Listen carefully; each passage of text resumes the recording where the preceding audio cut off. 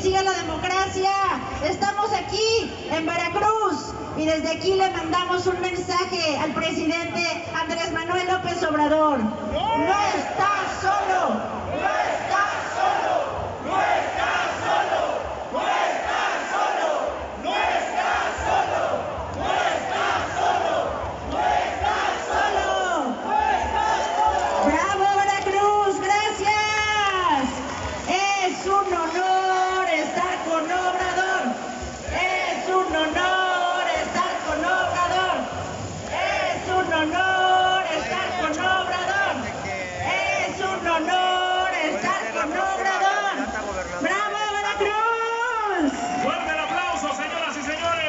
Montevideo.